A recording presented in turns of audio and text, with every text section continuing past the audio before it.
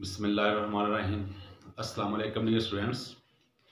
Dear students, आज tenth class का math है, उसमें यूनिट नंबर सेवन है, और उसकी एक्सरसाइज जो है, वो आपके सामने लिखी हुई है, सेवन पॉइंट थ्री है, उसका क्वेश्चन नंबर जो ट्वेल्व है, उसके last three parts ten, eleven, twelve.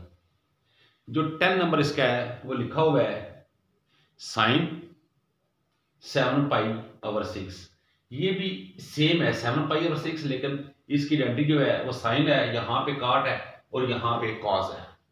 अब अब ये हमारे पास इसको पहले हमने डिग्री में करना है। ये इंटू रेडियन है तो डिग्री में करने के लिए ये जो पार्ट है हमारे पास ये पहले डिग्री में है। तो इसको डिग्री में करने के लिए आ, हम क्या करेंगे जी? यहाँ पे देखें तो यहाँ पे जो सेवन पाई आवर सिक्स है, इसको मल्टीप्लाई कर देंगे वन एटी आवर पाई से। अब पाई पाई से कैंसिल हो जाएगा। अब six one time six three time और ज़ीरो यहाँ पे। तो साइन साइन हमारे पास आ जाएगा zero seven three time twenty one अब ये आ जाएगा डिग्री में। अब इसी तरह ये डिग्री में आ गया है। अब देखते हैं जी इसको हम, मैं ड्रा भी करता हूँ। कोऑर्डिनेट्स पे ये देखिए जरा, गौर से देखिएगा।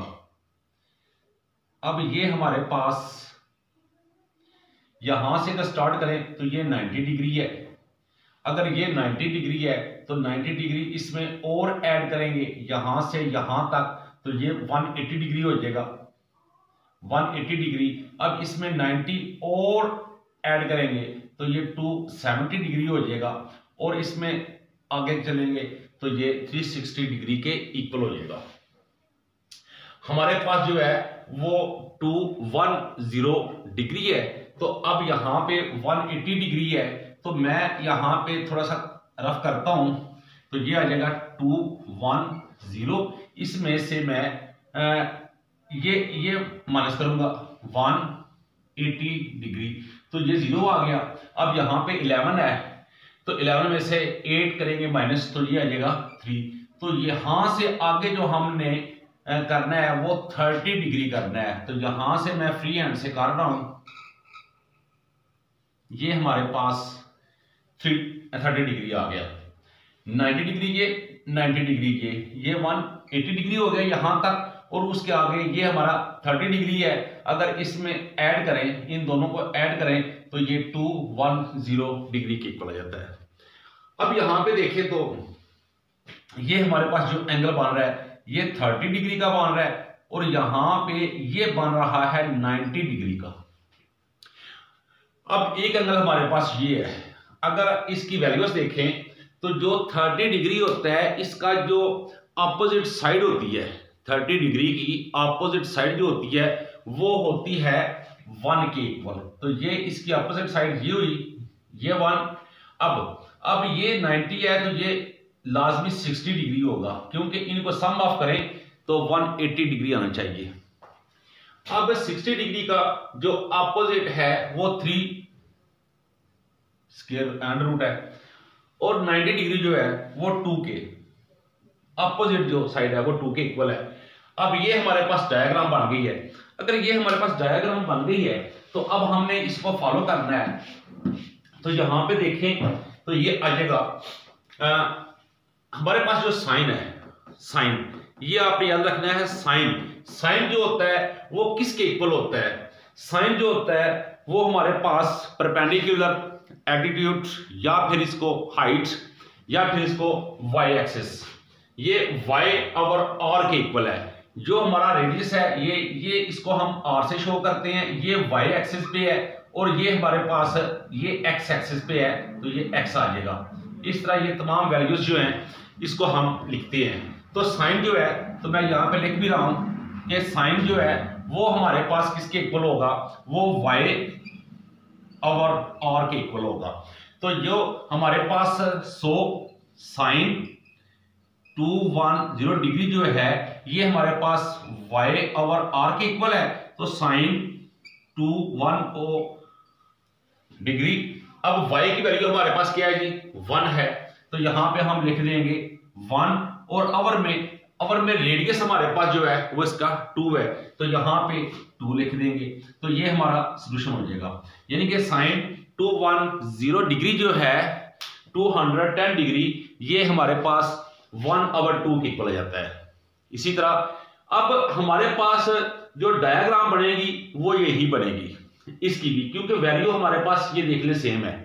तो मैं इसको भी यहाँ पे लिखता हूँ कॉट तो कॉट को अगर इसको हम रेडियन से करें डिग्री में तो ये भी आ जाएगा same two one zero degree तो डायग्राम भी इसकी सेम ही बनेगी।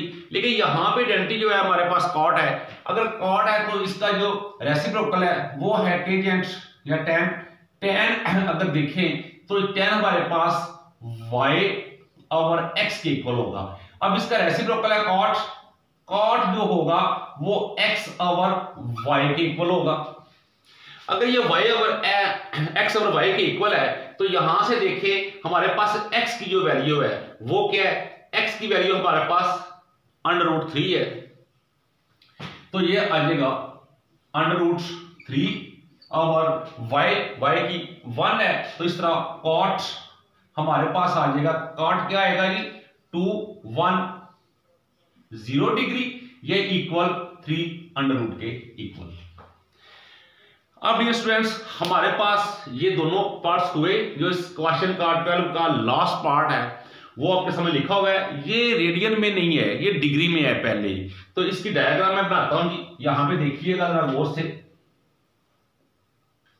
सेम अब अब यहाँ पे देखें, यहाँ से यहाँ तक 90 डिग्री यहाँ से यहाँ तक भी 90 डिग्री 90 प्लस 90 180 डिग्री हमारे पास है डबल टू फाइव डिग्री तो हमने क्या करना है? हमने इसमें से ये माइनस करते हैं तो देखते हैं क्या आता है? डबल टू फाइव माइनस करेंगे 180 डिग्री पे। तो फाइव का फाइव आ जाएगा तो यहाँ पे 12 है तो यहाँ पे 4 अब हमारे पास जो है, वो इसके बाद 40 डिग्री का एंगल लेना है हमने। ये एंगल ले लिया हमने। अब जी, अब यहाँ पे हमारे पास ये जो एंगल बन रहा है, ये 45 डिग्री का बन रहा है। यहाँ पे अगर देखें तो ये 90 डिग्री होगा और ये भी हमारे पास 45 डिग्री होगा, क्योंकि ये 90 है और 45 प्लस 45 90 डिग्री होगा 90 प्लस 90 180 डिग्री के इक्वल आ गया। अब अब डियर स्टूडेंट्स हमने देखना है कॉस अब कॉस कॉस किसके इक्वल होता है? अगर यहाँ पे देखें तो कॉस जो होता है, वो होता है बेस और हैपोडिन्यूस के। यानी कि बेस जो होगी, वो इसकी एक्स होगी। अब इसकी बेस जो है, वो हमारे पास ये है एक्स और रेडियस इसका ये है। अब अब ये 90 डिग्री है, इसमें एंगल जो है, वो फोर्टी फाइव डिग्री है तो 45 डिग्री का जो अपोजिट साइड होती है, वो वन के इक्वल होती है। तो ये वन ये भी वन क्योंकि ये 45 है, अब ये 90 है, अब इसमें 45 है तो इसमें टू नहीं होगा, इसमें टू अंडर रूट होगा। तो ये इसकी वैल्यू आ गई। अब अब हमारे पास जो कॉस है कॉस जो होता है, वो किसके इक्वल होता है? कॉस हमारे पास एक्स अवर और के इक्वल होता है। तो हमारे पास अगर देखें तो cos double two five zero. अब x जो है, वो हमारे पास वैल्यू उसकी क्या है? उसकी वैल्यू वन है। तो ये वन अवर अवर इसकी क्या आएगा जी? अवर हमारे पास ये r है तो r इसका स्केयर रूट में है। तो ये टू स्केयर रूट ये इसका सोल्यूशन हुआ। अब अगर देखें तो ये हमारे पास क्वेश्चन है, जो आपके सामने है। तो इसको मैं एक दफ़ा रिपीट कर रहा हूँ। आप इसको सुनिएगा, देखिएगा, समझिएगा। वीडियो लेंथ भी हो रही है। तो आप इजीली आप इसको समझ सकते हैं। असल में ये जो डायग्राम है या इसको ये आपने मुकम्मल समझ ली है। अगर आपने ये समझ ली तो आपके लिए मुश्किल नहीं होगा। और एक चीज़ याद रखें, जो इसकी डेंटिस हैं इनकी वैल्यूज़ भी आपको पता होना चाहिए। जो आपके एंगल हैं, उन एंगल का भी आपको पता होना चाहिए कि एंगल जो है, कौन सा एंगल जो है, वो किसके इक्वल आ रहा है। अब डियर स्टूडेंट्स इसमें एक चीज़ और आपको मैं बता दूँ, जो समझने वाली है। मैं अक्सर कहता हूँ कि मेरी वीडियो एंड तक देखा करें।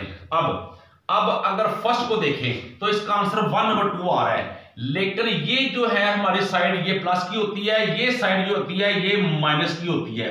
अब ये माइनस की है तो अगर यहाँ पे देखें तो हमारे पास ये वन भी आया है। और ये हमारे पास आया यहाँ भी one number two under root आया है। अब यहाँ पे वन ओवर टू है और वो one over two square root है।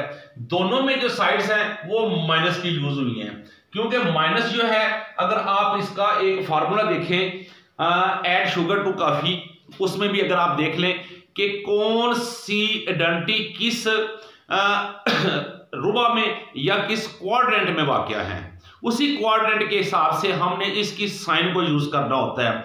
ये मेरी मुकम्मल वीडियो जो है, वो मौजूद है। एड शुगर टू काफ़ी अगर वो आप देख लें तो आपको समझ आ जाएगी कि यहाँ पे हमने माइनस को अप्लाई करना है।